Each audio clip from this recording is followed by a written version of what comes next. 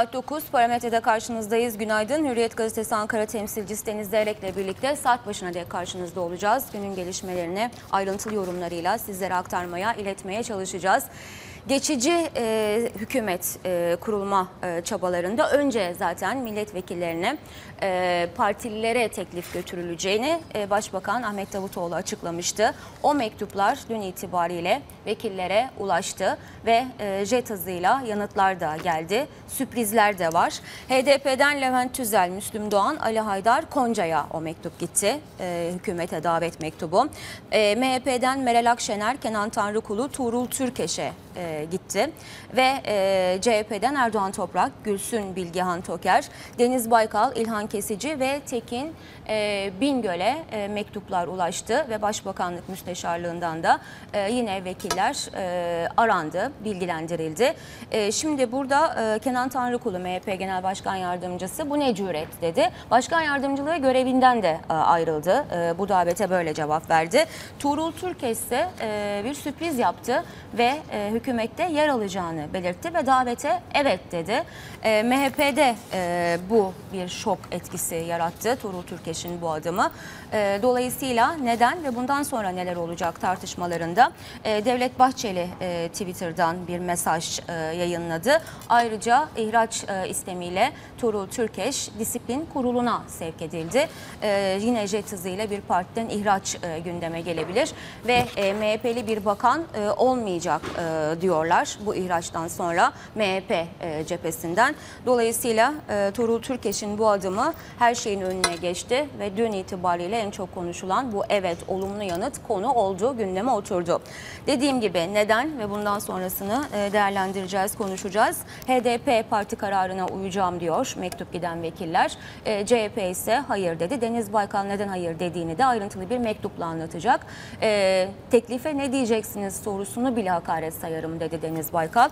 E, diğer isimler de e, hayır kararını e, zaten e, iletti. Cumhurbaşkanı Erdoğan 1 Kasım e, istikrar mı istikrarsızlık mı bunun seçimi olacak dedi. Dün muhtarlarla yaptığı konuşmada e, bunların anayasaya da saygısı yok e, diyerek muhalefete yüklendi. Seçime ben girmeyeceğim ki alıp veremediğiniz ne diye sordu Cumhurbaşkanı. Artvin'de milli sporcu engelli halası sel e, sırasında kayboldu. E, Dolayısıyla arama devam ediyor. Artvin'de sel felaketinde kaybolan minik Talha hala bulunamadı. Babası oğlum bana gel diye feryat ediyor, haykırıyor. Hopa bir yandan acılarına yanıyor, bir yandan felaketin hasarlarını tamir etmeye çalışıyor. E, hasarın boyutları da büyük, acının boyutları da büyük. E, değerlendireceğiz, konuşacağız. Terörle mücadelede mücadelede Erdoğan'dan HDP'ye mesaj var. Dün muhtarlarla buluşmasında e, terörle mücadeleye de değindi Cumhurbaşkanı. Silahı bıraktırdın da bıraktırma diyen mi oldu diye sordu HDP'ye. Batılı medyanın eylemleri masum gösterme çabasını kınıyorum e, dedi. Dolayısıyla e, terör konusundaki açıklamaların dışında Demirtaş'ın saray duyana kadar sesimizi yükseltmeye devam edeceğiz açıklaması var. Çatışmasızlık çağrısına. E, dolayısıyla bir yandan hava operasyonları devam ederken bir yandan terör saldırıları, da devam ediyor. E, düne yansıyan gelişmeleri yine konuşuyor, aktarıyor olacağız. Orada da çok fazla detay var. İrlandalı turist e, sosyal medyanın gündemindeydi. Türkiye'nin gündeminde olmaya devam ediyor. O konuda hem İr- İrlandalı turistten hem de e, Laleli esnafından açıklamalar var yeni. E, nasıl olmuş olay, kim ne diyor E, biraz bakacağız. Amerika'da canlı yayında iki gazeteci öldürüldü. Daha önce eski bir çalışan tarafından e, yapıldı bu saldırı. E, ateş açıldı. Hem muhabir hem kameraman hayatını kaybetti ve canlı yayında bir bağlantı sırasında bu oldu. Zan, e, zanlı da saldırgan da daha sonra arabasında e, intihar etti. E, bu da dünya manşetlerinde ve bugünün gazetelerinin manşetlerinde. E, bir diğer manşet e, 2000 yıllık bir kale Şile'de restore edildi. Ancak restorasyon sonrası tartışmalar büyüdü. E, çünkü e, Sünger Bop'a benzetildi 2000 yıllık bu kale. Sonra e, Kültür Bakanlığı da inceleme başlattı. Restorasyonu yapan şirkette e, topu kendisinden e, atıyor yine her zaman olduğu gibi. İşte e, kalenin eski hali Şile'de ve restorasyon sonrasındaki yeni hali e, ve Sünger Bob e, tartışmalarını beraberinde getiren getiren bu restorasyon sonrasındaki görüntü. Bakacağız, değerlendireceğiz. E, mülteci e, insan dramı orada devam ediyor. E, oradan yeni görüntüler, yeni haberler Yunanistan sınırı, Macaristan sınırından gelmeye devam ediyor. E, bir yandan da IŞİD'le mücadele e, noktasında yeni haberler, gelişmeler var. Aktaracağız. Ekonomide e, dün yine bugün manşetlerde, dün bizim haber bültenlerinde çok ayrıntılı gördünüz. 4.5G ihalesi yapıldı. E, 1 Nisan 2016'da artık telefonlarda 4G yazacak. E, 10 kat hızlanacağız. Hem veri, data aktarımında, hem görüntü indiriminde, hem konuşmada, hem de kapsama alanı itibariyle. E, dolayısıyla daha kaliteli e, gerçekleştireceğiz bütün bu adımları akıllı telefonlarda.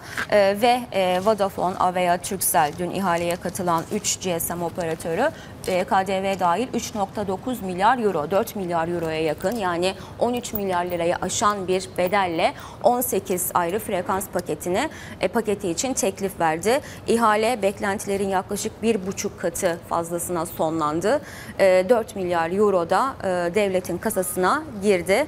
E, oradaki açıklamaları e, ve hayatımızda neler değişeceğini daha ayrıntılı konuşuyor olacağız. Benzinden sonra motorine de 10 kuruş e, indirim geldiğini hatırlatalım. ABD ham petrolü 40 doların altında. Brent tipi petrol son ayların son yılların en düşük seviyesinde 42-43 dolar e, bandında hareket ediyor. Petrol fiyatları düşüyor. Dolardaki düşüş, dolardaki seyir biraz yüksek dövizdeki seyir. Hala 2.92'nin üzerindeyiz.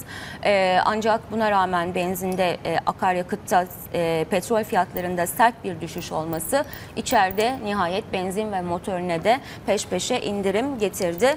E, piyasa e, FED ne yapacak? Amerikan Merkez Bankası ne yapacak? Parasal sıkılaştırma yerine gevşemeye gidebilir bu ortamda Çin böyleyken yorumları yapılıyor. Bir yandan da e, hayır o faiz artışı gelir etkilemez.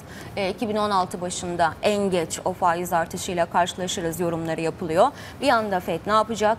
Bir yanda Çin'deki büyüme şimdi piyasaları sarstı. Gelip reel sektörü, şirketleri, ülkelerin ihracatını büyümesini etkileyecek mi sorusu masada. Dışarıda küresel ekonomik büyümeye dair ciddi bir kaygı var. Çin kaygısı var. Amerikan Merkez Bankası kaygısı var. İçeride 1 Kasım seçimleri var ve bu seçimlere dönük yaşanan gelişmeler var ve 4 milyar euroluk bu ortamda yapılan ihale var. Manşetler böyle. Bugün aslında bugüne başlarken öne çıkan gelişmeler de böyle. Yorumları için Ankara'ya döneceğim şimdi. Deniz günaydın. Günaydın Ebru. Deniz neden Tuğrul Türkeş evet dedi? Evet Tuğrul Türkeş aslında bunun sinyallerini veriyordu. Yani geçtiğimiz hafta boyunca bir kere MHP'de birçok toplantıya katılmamış. Biliyorsun seçimden sonra 7 Haziran seçimlerinden sonra saraya gidip Cumhurbaşkanı Tayyip Erdoğan'la görüşen bazı siyasetçiler olduğu söylentisi yayılmıştı. Deniz Baykal aleni bir şekilde işte parti liderinden izin alıp gittiği için e, deklare edildi, konuşuldu, tartışıldı. Ama MHP'den bir isim oldu ve e, olduğu konuşuldu ama kim olduğu hiçbir zaman açıklanmadı. Tuğrul Türkeş olduğu söylendi, o reddetti. E, o günden beri Tuğrul Türkeş'in AK Parti ile e, yakın temas içinde olduğuna dair MHP kulislerinde konuşmalar yapılıyordu. E, Tuğrul Türkeş'in e, dün Sinan Oğan biliyorsun partiden ihraç edildi MHP'den. Evet. Sinan Oğan gibi disipline sevk edilme gibi bir takım duyumlar aldığı e, da konuşulmuştu.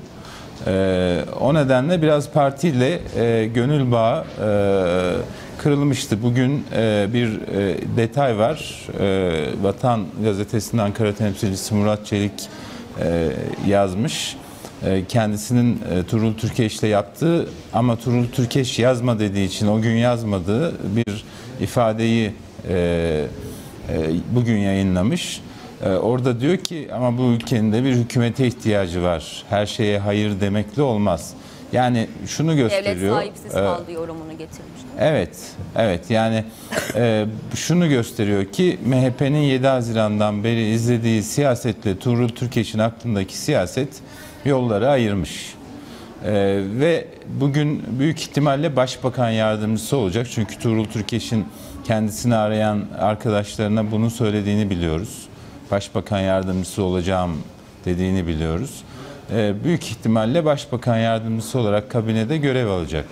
Bu e, hani Ahmet Davutoğlu bu kadar ciddi baskıyı ve tepkiyi göze alarak kendisini yalnız bırakmayan Turul Türkeş'le bundan sonra siyaset ortaklığı da yapacaktır. Yani Turul Türkeş bu kararıyla sadece geçici kabineye e, girmiş değil, aynı zamanda siyasete de e, Ahmet Davutoğlu ile birlikte AK Parti'de devam etme e, eğiliminde olduğunu gösterdi. Yani neden sorusunun cevabı MHP'de mutsuzdu. MHP ile görüş ayrılığına düşmüştü. MHP'nin politikalarını tasvip etmiyordu ve kendisini AK Parti'ye yakınlaştırmıştı. Ahmet Davutoğlu'yla bir siyasi gelecek e, çizmişti kendisine. Dolayısıyla da bu te- teklife rahatlıkla evet dedi. E, bugünden itibaren büyük ihtimalle e, partisiz kalacak e, ve e, 12 Eylül'deki AK Parti kongresi öncesinde de büyük ihtimalle AK Parti'ye üye olacak. E, sonra da e, belki hani ileride bir koalisyon hükümeti olursa ya da AK Parti hükümeti olursa e, orada görev almayı bekleyecek. Hatta AK Parti'nin yönetim organlarına girmesi e, beklentisi de olabilir. Olabilir.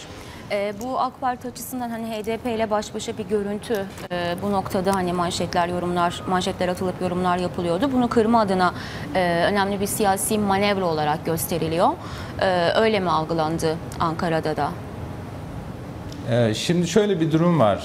Ee, Yani hani MHP'li biri var aramızda e, denilecek zemin kalmayacak. Çünkü MHP ile gönülden bile kopmuş bir isimden bahsediyoruz. Yani Tuğrul Türk Fiilen de Evet. kopacak. Ra- rahmetli babası e, Alparslan Türkeş'in oğlu olduğu için MHP'de çok saygı gören, MHP tabanının da saygısını gören bir isimdi. Ama bugün Bahçeli'nin açıklamalarına bakıyoruz. İşte miras yedi ifadesini kullanmış ki çok ağır bir ifadedir bu. Yani Evet. Siyasetinde böyle ağır ifadeler e, son zamanlarda çok sık duymaya başladık. E, o nedenle hani artık e, daha önce de merhum Türkeş'in küçük oğlu AK Parti saflarında milletvekili olmuştu ve bu sene o aday gösterilmemişti 7 Haziran'da. E, haliyle hani MHP'den transfer yaptık e, algısı e, çok da karşılık bulmayacaktır. Çünkü artık e, Sayın Tuğrul Türkeş e, MHP ile hem e, siyasi olarak hem e, fiili olarak e, yollarını ayırmış olacak.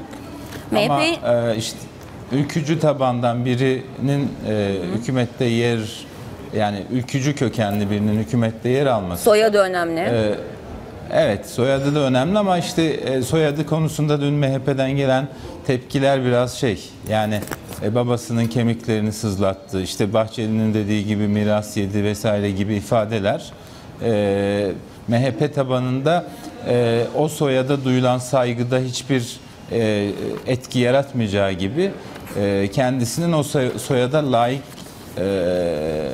bir tavır ortaya koymadığı görüşünü öne çıkaracak ki e, bu da hani MHP tabanını çok fazla etkilemez. Yani neticede Ha, MHP'de bir etkisi yani önemli bir etkisi olmayacağını mı e, düşünüyorsun? O açıdan da sorayım o zaman onu biraz Evet daha. yani şunu söylüyorum. Ülkücüler MHP e, tabanı Tuğrul Türkeş e, AK Parti'ye gitti diye Türkeş soyadından dolayı akın akın AK Parti'ye e, akın etmeyecekler. Yani e, bu, bu siyasetin bu tür e, durumları söz konusu. Yani nasıl ki e, küçük kardeş e, AK Parti'ye üye olduğunda kimse e, Alparslan Türkeş'in oğludur, işte MHP'liler artık AK Parti'ye oy versin e, demediyse burada da böyle bir durum olur. E, tam tersine Tuğrul Türkeş'e tepkiler MHP içinde dillendirilmeye başlandı. Daha da artacaktır öyle görünüyor. Ee, Bahçeli, Devlet Bahçeli miras yediği ifadesini evet e, senin söylediğin gibi kullandı. Tam olarak da tarih ihanetle sadakati geleceğin hafızasına nakleder. Turnuşon kağıdı gibidir e, diye de yazdı isim vermeden. E, yine hani MHP'den devam edelim. Diğer isimler mektup giden e, Tanrıkulu, Kenan Tanrıkulu ve Meral Akşener. E, Tanrıkulu bu ne cüret e, dercesine bir de görevinden de ayrıldı MHP'de Genel Başkan Yardımcılığından. Meral Akşener de bakanlık önerisini geri çevirdi. E, zaten hani e, tavır biliniyordu, bekleniyordu ama e, biraz MHP'de aşırı ve e, hani sürprizler olan bir e, mektup cevapları oldu anladığım kadarıyla. Evet. Ee, şimdi daha e, Deniz Baykal'ın red yanıtını görmediğimiz için Erken konuşma diyorsun peki. erken konuşmayalım. Tamam. CHP'liler, CHP'li 4 e, milletvekili ortak bir metin yazıp gönderecekler ama Deniz Baykal o ortak metni de kullanacak. Kendi e, metnini yazacak. Tamam. E, kendi cevabını verecek. E, onu da e, okuyalım. Ondan sonra en sansasyonel red yanıtı kimindi diye Tamam. bakalım. Yani Peki. şimdilik liderlik Kenan e, MHP'li Sayın Evet. Tanrıkulu'nda. Evet. Ee, o e, yani genel başkan görevinden de istifa ederek şu ana kadar ortaya çıkan en etkili yanıtı vermiş durumda. Bir bakalım Sayın Baykal'ın yanıtı ne olacak? Belki o daha etkili bir yanıt verir. O zaman e, detaylıca konuşuruz. Peki Meral Akşener, Kenan Tanrıkulu e, ve Tuğrul Türkeş'e gitti mektup MHP'den. E, Akşener ve Tanrıkulu hayır dedi. E, Tanrıkulu görevinden de ayrıldı bu ne cüret diyerek. Ve Tuğrul Türkeş olumlu yanıt verdi, bir sürpriz yaptı. Ve bunun yansımalarını ve bundan sonrasını Deniz bir miktar aktardı. CHP'den Erdoğan Toprak, Gülsün Bilgehan Toker, Deniz Baykal, İlhan Kesici, Tekin Bingöl. Yine soyadları itibariyle de öne çıkan hani... İsimler İlhan Kesici, Gülsün Bilgehan, e, Toker, Deniz Baykal, Erdoğan Toprak çok e, seçim e, kampanyasını yürütüyor CHP'nin ve bu seçime de hazırlıyor CHP'yi. O e, bunun bu işlerin başında galiba anladığım kadarıyla. Dolayısıyla kritik isimlere gittiğini anlıyoruz yine CHP'den de. Evet. Hem gö- konum hem görev hem deneyim hem e, soyadı itibariyle. Evet biraz devlet tecrübesine bakılmış yani bakanlık deneyimi olanlara verilmiş. E, devlet e, yönetimiyle ilgili donanım olan insanlara davet edilmiş. Aslında davet edilen herkes oldukça saygın isimler. Yani e, bence öyle bir takıntıya dönüştürmeye gerek yok. Yani vay bu ne cüret demeye gerek yok. E, bence bakanlık ee, yani teklif AK Parti'den e, geldi diye belki bu tek- e, tepkiyi gösteriyorlar ama bence bu bu teklifi de biraz pozitifte e, görebilirler. Yani hepsinin e, sonuçta bakanlık yapma kapasitesinin olduğunun bir ifadesidir bu. E, Ona göre seçilmişler, liyakatlarına göre seçilmişler. E, Belki hani e, Tuğrul Türkeş nokta atışıdır. Yani soyadından dolayı MHP'de yaratacağı etki bakımından vesaire ama e, diğerlerinde biraz hani mesela HDP'nin adaylarından biri eski kaymakam e, 12 Eylül askeri darbesinde mağdur edilmiş. E, Yıllarca kaymakamlıktan işte devlet memurluğuna e, düşmüş konumu. Sonra e, istifa edip işte avukatlık yapmak zorunda kalmış vesaire. Ama sonuç itibariyle kaymakam olarak e, devletin işleyişi konusunda fikir sahibi olmuş bir insan.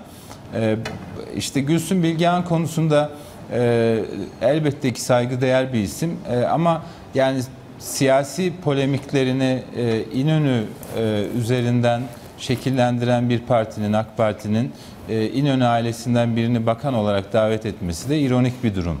Yani e, biliyorsun bütün seçim kampanyalarında e, merhum İnönü'nün e, CHP Genel Başkanı olarak e, bazı icraatları sürekli hem Cumhurbaşkanı Tayyip Erdoğan tarafından hem AK Partililer tarafından e, anti CHP propagandası için kullanılıyordu. Şimdi AK Parti'nin bir seçim hükümetinde İnönü ailesinden birini tercih etmesi e, bence ironik bir durum. E, Erdoğan Toprak Bakanlık yapmıştı. Deniz Baykal e, koalisyon ortağı olarak e, Başbakan Yardımcılığı, Dışişleri Bakanlığı gibi görevlerde bulunmuştu. E, Böyle bir şey İlhan Kesici yine öyle bakan e, olarak e, görev yapmıştı. E, Bunların tabii e, o tercihlerde büyük bir e, etkisi olmuştur. Peki.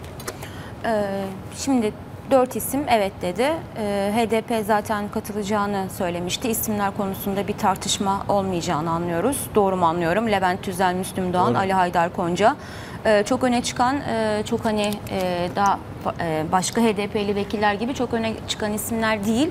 Bu hem HDP kanadında hem de e, bu isimlerin belirlenmesinde e, bir sorun olmayacak. Bu isimler onaylanacak ve geçici hükümette e, bu HDP'den bu üç ismi göreceğiz. Öyle mi? Evet, Biraz önce bahsettin ama hani başka detay vermek istersen. Evet, Cumhurbaşkanı e, onay vereceğinin sinyalini vermeseydi e, Sayın Davutoğlu bu isimleri davet etmezdi. Çünkü şöyle bir duruma düştüğünü düşünsene. E, üç kişiye teklifte bulunuyor. Onlar evet diyorlar, kabul ediyorlar. Sonra Cumhurbaşkanı bunları veto ediyor. Böyle bir durum e, yaşanırsa herhalde e, ilginç olur. Onun için ben Cumhurbaşkanı'nın da bu üç, üç isime bir şekilde onay verdiği e, düşüncesindeyim. Yani büyük ihtimalle bu görüşme bir görüşmede bu isimler telaffuz edilmiştir. Cumhurbaşkanından da bir itiraz gelmemiştir ama burada bu tercihlerde e, benim açımdan en ilginç olan şey şu. Tamam PKK ile mücadele, HDP'ye mesafe koyma vesaire ama e, seçmenlerinin 5 milyondan fazlası 6, 6 küsür milyon e, insan e, HDP'ye oy vermiş ve seçmenlerinin 5 milyondan fazlası Kürt. Ve e, böyle bir partiden e, hani e, Kürt e, olmayan isimlerin seçilmesi enteresan. Yani bu bu e, Kürtlerde bir e, etki yaratacaktır. E, diğer açıdan e, önemli yani iki iki kişinin Alevi olması önemli. Yani Türkiye'de e, kabineye e, Alevi bakanlar işte e, CHP'nin ya da SHP'nin iktidar olduğu dönemler dışında çok fazla girmiyorlar, e, alınmıyorlar. O açıdan e, önemli. Yani toplumun değişik kesimlerini temsil e, eden e, bir kabine kurma arayışı e, Davutoğlu tarafından ortaya konulmuş. O açıdan gerçekten e, takdir edilesi bir durum. Yani e, iki e, hem de Pir Sultan Abdal gibi Alevilerin e, sorunları için mücadele veren bir sivil toplum kuruluşunun eski genel başkanının tercih edilmesi e, önemli bir açılım. Ama bunun mesela hani e, HDP'den yapılan tercihlerde e, işte bir Kürt isim için de kullanılması söz konusu olabilirdi. E, şunu da unutmamak lazım. Üç dönemlik, e, üç dönem kuralına takılan o nedenle 7 Haziran'da milletvekili olamayan bakanların hiçbiri bu yeni kabinede olmayacaklar. Haliyle mesela Mehdi Eker e, gibi isimler de olmayacak. AK Parti'nin e, kendi kabinesindeki Kürt bakan sayısı da düşecek. E, bunlara dikkat edilebilirdi. E, ama e, hani böyle bir tavır alınmış. E, bu tavırın e, AK Parti'nin 1 Kasım'da yapılacak seçimde Kürtlerden o alacağı oyları nasıl etkileyeceğini de seçimlerde göreceğiz. Evet, şimdi Perşembe günü 18'e kadar yanıtlar beklenecek ama yanıtlar belli gibi zaten. Ee, seçim hükümetinin yarın kurulması öngörülüyor. Ee, hayır diyen vekiller yerine de dışarıdan atamalar yapılacak. Sanırım o isimler de belli ve biz hükümeti yarın öğrenmiş mi olacağız? Evet, yani büyük ihtimalle e, yarın itibariyle bizim artık e, bir seçim hükümetimiz olacak. E, milletvekili olmayan bakanlar olacak çok sayıda, e, öyle görünüyor. Yani yaklaşık 10 bakan e, parlamento dışından olacak. Onların e, yedi, yeni gelecek 7 bağımsız bakanının mecliste e, yemin etmesi gerekecek. Onun için meclisin toplanması gerekecek. E, mecliste bir güven oyu e, ihtiyacı olmadığı için e, bir güven oyu tartışması yaşamayacağız. Ama meclis toplandığında da işte belki de yeni hükümet o bakanlar meclis genel kurulunda bir bakanlar kurulu bölümü var. Oradaki ilk toplu fotoğrafını belki de işte yemin töreninde ya da işte hani tezkerenin oylanmasında verecek böyle bir fotoğraf orada ortaya çıkacak. Peki Tuğrul Türkiye sürpriz oldu. Ee, MHP'de e, bir e, şok yarattı. Sanırım çok da beklenmiyordu Deniz. Ee, bundan sonra e, Başbakan Yardımcısı olabilir. Geçici hükümette bu görev verilebilir yorumları yapılıyor. Ee, zaten disipline sevk edildi ihraç sistemiyle e, ve e, MHP'de MHP'li bir bakan olarak yer almayacak açıklamasını e, yaptı. Bundan sonra e, Tuğrul Türkeş'in siyasi yaşamına e, yine AK Parti'de önemli görevlerde devam edebileceğini seçim sonuçlarına göre de anlıyorum. Ee, Kenan Tanrıkulu e, ciddi bir çıkış yaptı. Bu ne cüret diyerek parti genel başkan yardımcılığı görevinden de ayrıldı. Şimdi en sert yanıt e, Kenan Tanrıkulu'nda da öyle anlıyoruz ama Deniz Zeyrek diyor ki Deniz Baykal'ın mektubunu da bir görmek lazım değerlendirme için. CHP'ye teklif e, giden isimlerden tümü hayır e, dedi. E, Daha önce de zaten bu yönde açıklamalar vardı. E, HDP'de parti kararına uyacağız diyor. Üç isim var. E, Buradaki e, seçimleri de yine e, değerlendirmiş olduk. 18'e kadar bugün süre var. E, Yarın da diğer isimler de belli anladığımız kadarıyla. Geçici hükümet kurulacak. Güven oyuna gerek yok. Meclis toplanacak ve e, süreç başlayacak. Doğru mu özetledim? Doğru Ebru. Yani burada tabii şunun altını çizmek lazım. Biraz önce dedim ya sen, senin aslında dikkatini çekmesi gerekiyordu. Ee, Ne üçüncü dönem kuru Üçüncü dönem kuralına takılan e, o nedenle 7 Haziran'da milletvekili olamayanlar e, bakan olamayacak dedim ya. Babacan'ı sormamı Senin- istedi. Evet. Tamam Yani soracağım soracağım babacanı- bir bekle ama. Sorman, sorman gerekiyordu. Tamam bekle soracağım. soracağım. Atladın 3-4 yani. Eylül'de önemli toplantılar var. B2 60 ülkeden iş adamı gelecek. Ee, önemli kuruluşların başındaki isimler burada olacak. Ee, G20 var. Ee, dünya böyle. Ee, e, ihaleler yapılıyor. Aynı hızla büyük projeler devam ediyor. E, şirketler yatırımlarına devam etmeye çalışıyor. Dolayısıyla ekonomi önemli. 1 Kasım'ı da etkileyecek bir süreç olduğunu düşünüyorum. Ee, genel yorumlarda Evet. zaten böyle. Dolayısıyla ayrı bir başlıkta e, Babacan'ı soracağım. Ama istersen şimdi cevap. Tamam. Ekonomi Ya- Bakanı'nı biliyorsan da 1 Kasım'a kadar söyle. Ee, Babacan bu G20 dolayısıyla e, büyük ihtimalle Cumhurbaşkanı tarafından bir koordinatörlükle görevlendirilecek. Öyle e, görünüyor. Yani e, G20 toplantılarının hazırlıkları Cumhurbaşkanı tarafından üstlenilmişti. Yani bu seçim durumu, e, hükümetin geçici olması vesaire nedeniyle G20 toplantısını genellikle başbakanlar Türkiye adına e, takip ederken e, bu seferlik Cumhurbaşkanı e, himayesine almıştı.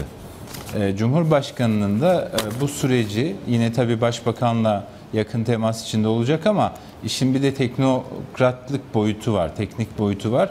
O boyutu e, Babacan'la yürütmeye devam edeceğine dair bilgiler var. Dün yani AK Parti kulislerinde konuşulan şeyi aktarıyorum. Büyük ihtimalle Babacan e, G20 koordinatörü olarak çalışmaya devam edecek. Çünkü gelecek olan e, isimlerin özellikle ekonominin e, dünya ekonomisine yön veren isimlerin e, küresel, küresel bir muhatap olarak Babacan'ı gördüklerini unutmamak lazım. Yani sadece 13 yıl uzun bir süre. E, bu hazırlıklar da o çerçevede e, Babacan'ın e, Babacan ve ekibi tarafından yapıldığı için e, vurguluyorsun. 13 yılda gerçekten uzun bir süre.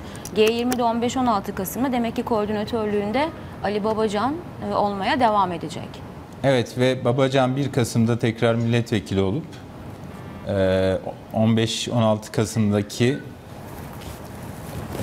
e, G20 zirvesine e, bir koalisyon ortağı ya da bir AK Parti hükümetinde yeniden bakan olarak dönebilir.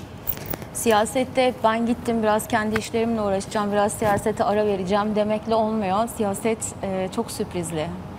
Ankara daha Evet, dün, sürprizli. dün, dün bir siyasetçiden duyduğum bir e, ifadeyi söyleyeyim. E, siyasette jubile yoktur e, dedi. E, evet siyasette jubile biraz zor. Evet zor. Hakikaten öyleymiş. Çünkü biz e, aylarca üç dönem kuralını konuştuk. Bütün bunlar ne olacak e, dedik. E, işte hangi isimler gelebilir dedik. Üç dönem kuralı nedeniyle aday olamıyor. Olama, olmadı.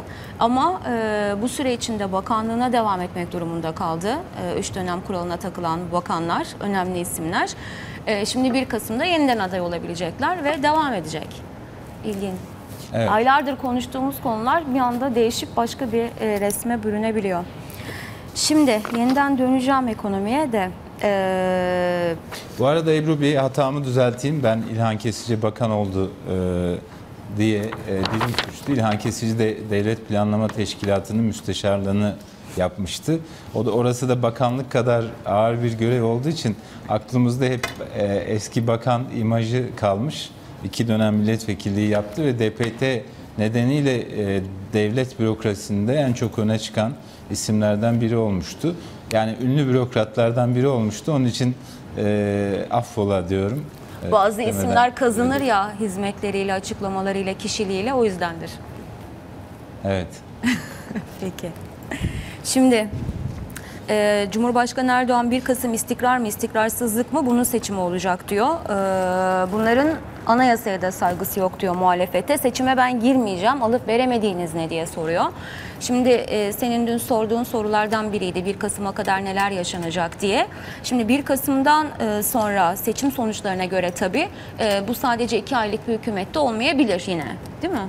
Öyle de bir olasılık bir- var, öyle bir senaryo Yani var. Koalisyon ihtimali çıkarsa ki e, AK Parti'nin çok yakın çalıştığı e, araştırmacı e, İbrahim Uslu'nun yorumudur bu. CNN Türk ekranlarında yaptı. E, dedi ki dört partili bir parlamento aritmetiğinde tek başına iktidar çıkması zor. Yani ancak ve ancak böyle MHP %10'da kalır. HDP %10'da kalır. Yani 10.001'de kalır. Ee, AK Parti'nin oylarında da göre böyle hissedilir bir artış olur işte 45, 46 vesaire. O zaman tek başına iktidar mümkün olur dört partili bir parlamento aritmetiğinde. Ee, bu yorum önemli bence Ee, ve şu ana kadar ortaya çıkan e, araştırma sonuçları da e, sonucun çok değişmediğini gösteriyor. Dolayısıyla da biz yine bir artık istikşafi yaparlar mı bilmiyorum. CHP'yi yeterince keşfetti AK Parti. Herhalde istik, istikşafi görüşmeler yapmadan direkt koalisyon görüşmelerine, müzakerelerine geçerler. Belki süre biraz kısalır ama bir koalisyon aritmetiği çıkarsa e, 2016 yılının başına kadar bu hükümet görev yapabilir. Kelimeleri söylerken ben de biraz zorlanıyorum Deniz. Sen daha az zorlanıyorsun ama benim kelimelerle ez- özellikle ka- kafamdaki kelimeler eski kelimeleri eklediğim Kaşif. için biraz karışıyor kafam. Kelime kökü keşif biliyorsun. E, keşfeden anlamında kaşif. Evet. E, istikşafi de keş, keşfet. Yok istikşafiyi Melek- öğrendim. Tamam. Öğrendim. Yeni kelimeleri öğrenmeye e, hazırım.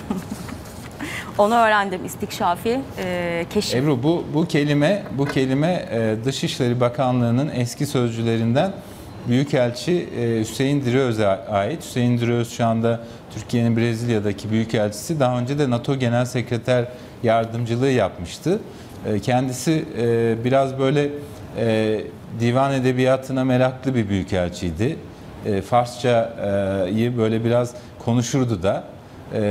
Onun Yunanistan'la Ege sorunlarının konuşulduğu bir dönemde bir yazılı açıklamada İngilizcesinin karşılığını bulamayınca kullandığı ifadedir istikşafi. Ee, ve dilimize de yerleşti. Yani o, o istikşafi sözcüğünün e, dilimize kazan, yeniden kazandırılmasının e, müsebbibi e, Hüseyin Diröz'dür. Bunu da e, hatırlatmakta, bir Peki. dipnot olarak hatırlatmakta Hatırladım, fayda var. da olalım.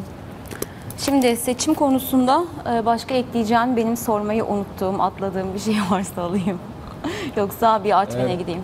Yani Cumhurbaşkanı hani e, kendisinin seçime girmediğini söylüyor ama ya fiziki olarak ya dün yaptığı konuşma bile e, biraz seçim havasındaydı. Yani MHP'yi, CHP'yi ve e, HDP'yi doğrudan hedef aldı. E, AK Parti ile ilgili de yine e, olumlu pozitif ifadeler kullandı. Yani bu bir ta- tavırdır. Yani Cumhurbaşkanı AK Parti e, partili Cumhurbaşkanı gibi davranmak istediğini zaten ortaya koymuştu ve e, kendisi ben seçime girmiyorum dese de e, bu konuşmalarından dolayı seçimin bir aktörü gibi algılanıyor. Böyle bir e, durum tespiti yapmak durumundayız. Yani e, kendisi aksini söylese de ortaya koyduğu tavır, e, söylemleri, kullandığı, te- tercih ettiği ifadeleri kamuoyunda böyle bir algıya e, neden olmuş olabilir. Siyasi partilerin de e, Cumhurbaşkanı'nın kendilerine hedef alması nedeniyle onu bir AK Parti'nin hani bir AK Partili gibi AK Parti unsuru gibi görmeleri de doğal oluyor bu durumda. Biraz bundan kaynaklanıyor. Bunun altını çizmekte fayda var. Yani e, tabii bundan sonra 1 Kasım'a kadar e, ne olacak onu da herkes merakla bekliyor. Bekliyor. Sayın Cumhurbaşkanı biliyorsun 7 Haziran seçimleri öncesinde en az Sayın Davutoğlu kadar meydanlara çıkmıştı ve AK Parti sloganları attırmaktan da imtina etmemişti. Yani e, hani tarafsızlık meselesine bakış açısının farklı olduğunu ortaya koymuştu. Bir de bugün arka arkaya yanıtlar gelir herhalde. Çünkü Cumhurbaşkanı soruyor Devlet Bahçeli'ye. Yatıyor kalkıyor Erdoğan niye bana bu kadar sevdalı anlamadım diyor Bahçeli için. Ee, Kılıçdaroğlu hakaret edene ne görevi verecektim diye soruyor Kılıçdaroğlu'na. Ee, çünkü e, ikinci çıkan partiye e, Ebru. hükümeti kurma görevi verilmeli diye. E, Demirtaş'ı da e, teröriste hobi derneği muamelesi e, yaptığı için eleştiriyor. Masum değilsiniz diyor. Bugün arka Peki, arkaya yanıtlar Ebru, gelir herhalde. Dinliyorum. Velev ki seçimde bu partilerden biri birinci parti çıktı. Ee, Sayın Cumhurbaşkanı dün söylediği gerekçeler nedeniyle onlara hükümet kurma görevi vermeyecek mi? Verir herhalde. Yani Kılıçdaroğlu'na diyor ya ben ona nasıl görev vereyim diye. Velev ki Kılıçdaroğlu birinci parti çıktı. E, Cumhurbaşkanı çağırıp görev vermeyecek mi? Onun için hani e, bu siyasette söylemler geride bırakılabiliyor. Aynı şey Kılıçdaroğlu da Kılıçdaroğlu için de geçerli. Yani bir saray boykotu var. Görev almaya E, diyelim gitmeyecek. ki ha gö- görevi almaya nereye gidecek? Saraya gidecek mecburen. Ama bu kez Ve de giderim eğer- demişti. Evet Cumhurbaşkanı da görev verseydi e, Bu mecburen gidecekti. Evet. Yani siyasetçiler bazen kendilerini bağlayan açıklamalar yapıyorlar ama sonra da onları bir şekilde e, değiştirdiklerinde değişik izahatler e, ortaya koymaları gerekiyor. Zor durumda kalıyorlar, izah etmeye çalışıyorlar vesaire. Şimdi e, Artvin'de e, yaşanan sel felaketi, facia neden, niçin, e, yanlış yapılaşmadan e, başlayarak e, işte çay bahçeleri, fındık bahçeleri yapıldı ağaçların yerine. Dolayısıyla e, önlemler alınmadı. Bodrum katlarında insanlar yaşamaya devam etti. E, dere yataklarına binalar yapıldı. E, bir dizi neden ve tartışma devam ediyor. Bir yandan da eylem vardı ama e, tabii hem acı var, büyük acı, kayıplar var. 8 kişi hayatını kaybetti. E, Hopa'da itfaiye aracından düşerek kaybolan 9 yaşındaki Talha Su için umutlar da azalıyor. E, gencecik milli sporcu yine halasıyla birlikte bir eve sığınmış çay toplarken sel sırasında ama kayboldu. Arama çalışmaları devam ediyor. Hala bir haber yok. Bir yandan kayıplar var, büyük acılar var. Bir yandan hasarın yarattığı felaketin e, yaralarını sarma e, çabası var. Onun altından kalkma çabası var. E, Artvin zor günler yaşıyor. Karadeniz zor günler yaşıyor Deniz. Evet. Ee, Ebru, akan su yatağını buluyor. Yani bu o kadar e, yani yani binlerce yılın e, bizim karşımıza çıkardığı, doğanın bizim karşımıza çıkardığı bir gerçek. Eğer insanoğlu o suyun yatağına herhangi bir engel koyarsa e, o su e, o engeli de aşıyor. Yani sadece yolunu bulmakla kalmıyor. Yoluna çıkan doğal olmayan engelleri de birer birer aşıyor. İnsanlar ya mesela e, bir öğretmen e, Artvin'de Hopa'da HES pro- protestosu e, yapmıştı. İşte yaşamını yitirmişti. İşte bir gazlı müdahaleden sonra kalp krizi geçirmişti. O insanlar boşuna ölmüyor. Yani yaşamlarını e, kaybetme riskini göze alarak bu tür protestolara boşuna gitmiyorlar. İşte bu yani belki de o adamlara kulak verilseydi bugün 8 insanı daha kaybetmeyecektik. Oğlum gel O diye doğaya- babalar feryat etmeyecekti. Evet yani Tam tedbir alın. e, o, o, o oğlunu kaybeden babanın feryadını dinledik. Defalarca gitmiş başvurmuş bir menfez istemiş. bir menfezin düzeltilmesini istemiş. Üç kere görüntüsünü kaydetmiş talep ettiğini. Şimdi sadece yani şu andaki belediye başkanından değil başka bir partiden olan önceki belediye başkanından da istemiş. Partisi fark etmiyor. Yani biz e, doğaya karşı bir rant yarışına girersek e, doğa çok acımasız oluyor. Doğanın e, intikamı e, or- oraya işte onları yapanlar yetersiz menfez yapmakta yetersiz kalanlar vesaire onların gözünün yaşına bakmıyor. O, onların kazandığı rantı da böyle e, iki saat içinde e, silip süpürüyor denize katıyor. Yani şu şu arazide yapılan inşaattan kazanılanın o rantın e, belki de onlarca katı şu anda o afetin yaralarını sarmak için harcanacak. Bunları unutmamak lazım. Yani burası muhteşem buradan çok para kazanalım.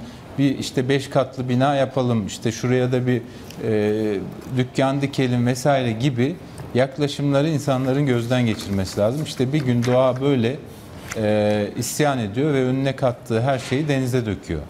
Doğa yalnız orada 90 yıldır isyan ediyor. 700 kişi hayatını kaybetti. En son 2012'de büyük facialar yaşandı. Bodrum katta kalan insanlar hayatını kaybetti selde. Dolayısıyla e, bir de sürekli tekrar ediyor e, doğa ve tarihi. Şimdi e, kısa kısa e, devam edelim gelişmelerden e, ve sonra yine siyasetle bitireceğim. Bir sorum daha var orada çünkü. Şimdi terör e, saldırıları devam ediyor. E, işte Van'da askeri araca düzenlenen saldırıda iki polis hafif yaralandı. Bingöl'de e, yine e, PKK'lılar baraja saldırı düzenledi. Dört işçi yaralandı. Gaziantep ve Tunceli saldırılarda ölen ya da yaralanan olmadı. Yüksekova'da sokağa çıkma yasağı var. Orada neler oluyor tartışması devam ediyor. Oradan birçok soru geliyor. Bir yandan da hava operasyonları e, devam ediyor PKK'ya dönük. E, 22 Temmuz'dan bugüne 918 teröristin öldürüldüğünü, 9'e yakında e, teröristin yaralandığı e, açıklamaları TSK cephesinden geliyor. Örgüt eleman bulmakta zorlanıyor, çocuk terörist devşiriyor açıklamaları var. E, saldırılar opera- e, devam ediyor. Yüksekova'da sokağa çıkma yasağı var. Bir yandan da e, PKK'ya dönük operasyonlar devam ederken e, TSK'nın bu yöndeki açıklamaları var. Deniz. Evet. Ebru bu kurduğun cümleleri Google'a yaz ve ara tuşuna bas. 1985 yılından itibaren yüzlerce örnek bulursun. Şu kadar terörist etkisiz hale getirildi, işte e, depoları başlarına yıkıldı, e, örgüt eleman bulamıyor, işte örgüt elemanları kaçıyor, e, teslim oluyor vesaire diye. Örgüt çökertildi. 35 senedir benzer cümlelerle benzer haberler yazılıyor. E, ne diyeyim, inşallah bu sefer e, başarılı olurlar. Peki. Bu arada Selahattin Demirtaş'ın e, çağrısı, e, çatışmasızlık çağrısı devam ediyor. E, silah bıraktırdığında hayır mı dedik diyor Cumhurbaşkanı. Dolayısıyla HDP'ye dönük eleştirileri de var. E, bu süreç böyle. 2000 e, şimdi e, biraz da e, 4.5G ihalesine bakalım. Ardından e, İrlandalı turist ve bu e, restorasyonu yapılan Şile'deki kale var. E, uçak pistine giren araç da var. Böyle bir dizi haberimiz de var. Canlı yayında öldürülen gazeteciler var. Ama bugün önemli manşetlerinden biri dünkü ihale. 4.5G ihalesi. 4 milyar euroya yakın bir e, bedel. Bu e, 18 ayrı frekans paketi için e, GSM operatörlerinin, 3 operatörün Vodafone, Avea ve Turkcell'in verdiği, e, ödeyeceği miktar.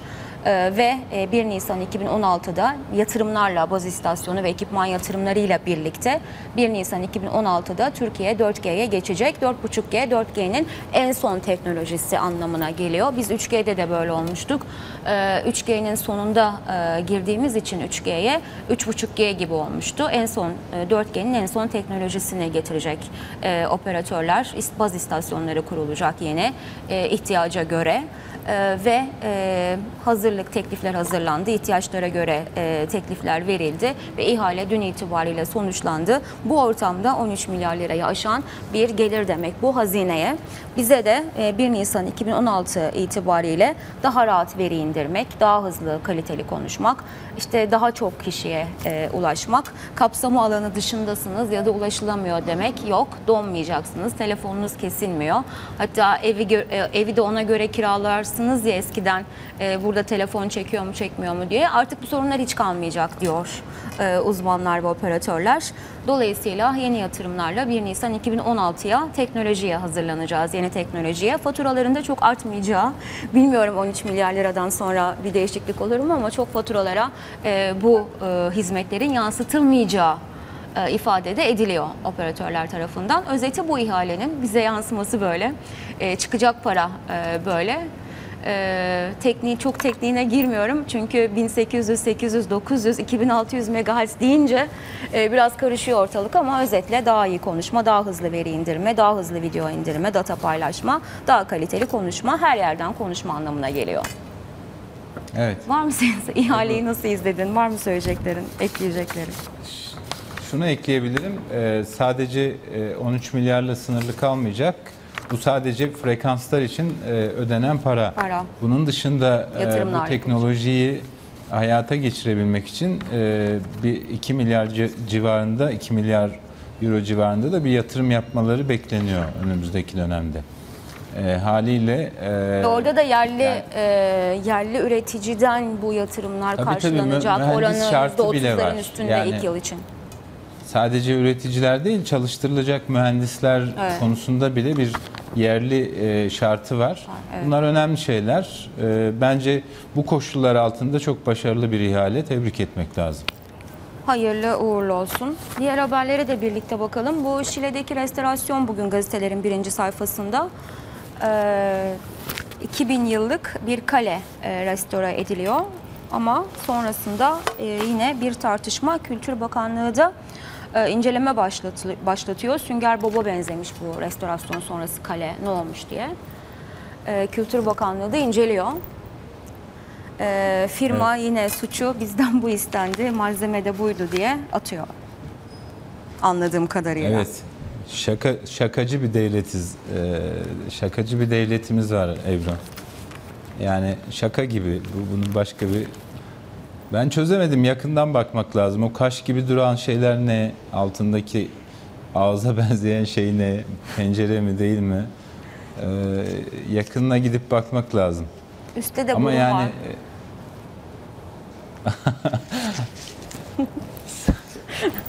ya bu, bu memlekette bir restorasyon problemi var.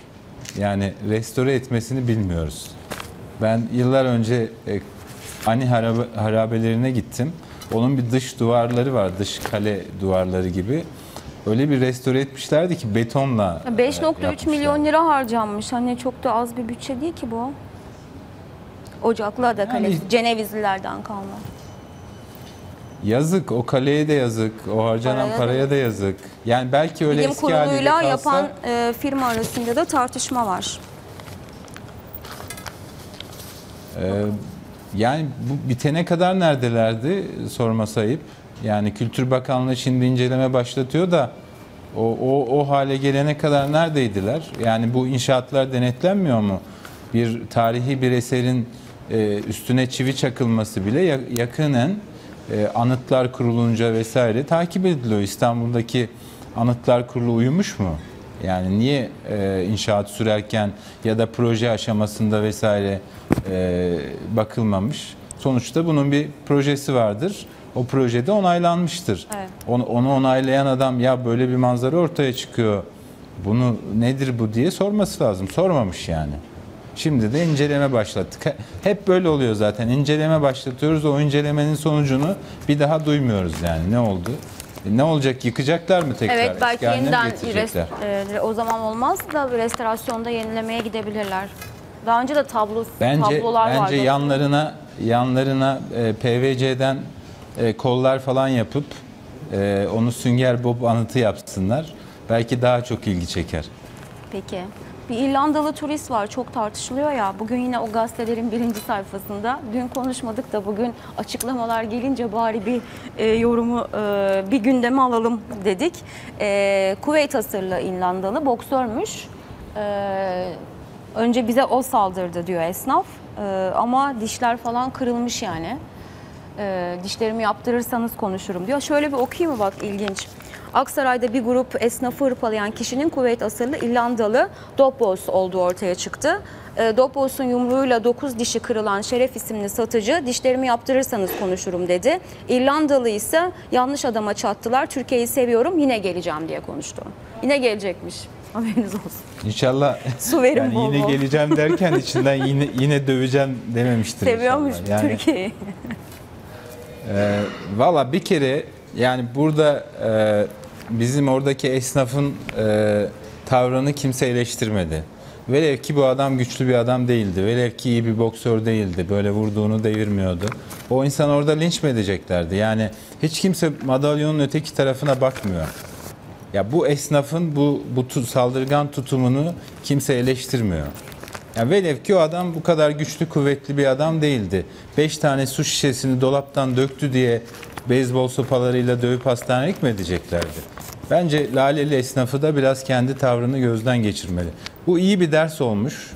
Yani e, insa- bir turist turizmden bahsediyoruz. Turistlere e, muamelenin yarattığı sonuçlardan bahsediyoruz. En çok İstanbul şehrinin en çok turist gelen yerinde 5-6 tane su şişesi dolaptan aşağı döküldü diye e, dükkanın sahibi sırtında Önce işte o bize saldırdı sopası- diyorlar. Ya görüntüler ortada.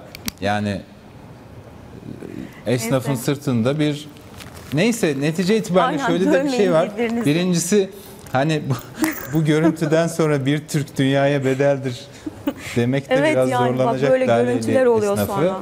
İkincisi de şöyle bir şey var. Bu Kuveytliler herhalde bu işlere bayağı şey yapıyorlar. Ee, arada kaynadı. Hatırlarsan bir F-16 pilotumuz e, kuvvet komutanının da damadıydı yanlış hatırlamıyorsam. Ee, böyle 1.95 boylarında. Ankara'da bir bankanın önünde bir park sorunu yaşadı ve Kuveytli diplomatlardan çok fena dayak yedi. Şu anda mahkemesi de sürüyor, davası da sürüyor. Evet. Bu Kuveytlilerde bir Türklere dayak atma şeyi oluşmuş son zamanlarda. Hamlesi Yani diyelim bari. böyle- Bilmiyorum. Henüz iki örnek var. Şimdi Neyse şey- bu bunlar işin şakası Ebru. Tamam. Ee, yani bu meseleleri şiddetle çözme eğilimi kabul edilemez bir şey. Yani Bak senin- biz gülüyoruz, e, eğleniyoruz falan ama o hiç manzara güzel bir manzara değil. Gerçekten gülmedim yani. Dün de zaten sosyal medya 3 gündür bu görüntülerle eğleniyor. ama arkasına konan müziklerle Dişi kırılan, dişi kırılan satıcının düşüşüyle eğleniyor. Yani sonraki o e, sarhoş gibi yürümesiyle eğleniyor. Yani bu boks, şey boks değil. maçlarında çok sık görüyoruz. Kulağın arka tarafına sert bir şekilde vurulduğunda e, beyinde oluşan e, daha doğrusu denge merkezinde oluşan sıkıntı nedeniyle e, işte boks maçlarında nakavtlar da öyle gerçekleşiyor. bak bir şey O e, tabii Yani devam et, devam et. Bitir cümleni. Hayır, naka, o, o işportacı knockout olmuş orada. Yani işin özeti o. Şimdi e, okuyacağım sen bir cümleyle desteğini at e, sonra bir soruyla tamamlayacağım. Şimdi olay zaten ilginç. Siz e, Hürriyet gazetesinde var birinci sayfada. Yolunu şaşıran şoför uçak e, piste çıktı. Uçaklar pas geçti. Esenboğa'da kaçak var başlığıyla verilmiş ama şimdi hav- e, otoparktan e, çıkış yapacağım diye e, şoför piste çıkmış. Uçakların arasına dalmış. 63 yaşındaki Afyonlu sürücü olayı anlattı. Şeker hastasıyım. Ankara istikametine çıkmak isterken yolu şaşırmıştım. Pisti gördüğümde ilk önce duble yol sandım. Hatta kendi kendime bu kadar güz- güzel duble yol görmemiştim dedim. Bir de kapıları falan açılmış. Herhalde e, çünkü e, sanırım siyasilerin ve bürokratların geçişi e, de oradan oluyor. Piste oradan gidiyor. E, piste çıkmış uçakların arasına kapısı açılmış ve yola da hayran kalmış. İnşallah bizim yollarımızda pis kadar olur. Evet. Yani Esenboğa Havalimanı'nı kullananlar e, bu olayın nasıl gerçekleştirdiğini gözlerinde canlandırabilirler. Esenboğa'nın tam çıkış kapısının hemen sağ tarafında yeni bir şeref salonu var. Cumhurbaşkanı, Başbakan oradan e, seyahatlerine çıkıyor ve Cumhurbaşkanı geldiğinde bazen o kapı açılarak uçağa kadar, aprona kadar e, arabasıyla gidebiliyor. İşte o kapı açık bırakılmış ve bu araç O e, kapıdan girebilmiş. işte taksi yoluna kadar e, gidebilmiş ama sonra etrafta yaklaşan uçakları e, vesaire görünce panikleyip dörtlüleri yakmış. Allah'tan kule de bu durumu fark etmiş ve Allah'tan. müdahale etmiş. Birkaç uçağa e, yükselmeleri çağrısı yapmış. Peki. E, biz de bunu bir şehir efsanesi olarak Ankara'da konuşuyorduk. Arkadaşımız Eray Görgülü biraz üstüne gitti ve gerçek olduğunu ortaya çıkardı. Hatta sorumluları e, değişik şekillerde cezalandırılmış. Peki son bitirirken e, Deniz vaktimiz yok. Bunun yorumunu e, yarına bırakacağım. Yarın bize anlat. Murat Yetkin demiş ki daha neler göreceğiz, ne siyasi manevralar göreceğiz. E, Bizans oyunları Safiyan'ı e, çocuk saflığında kalır yorumunu yapmış bugünkü yazısında. Neler göreceğiz e, sorusunu ben sana vereyim. Yarın da sen bize sabah cevabını Tamam. anlat. Tamam. Kısa bir ara. Anlaştık.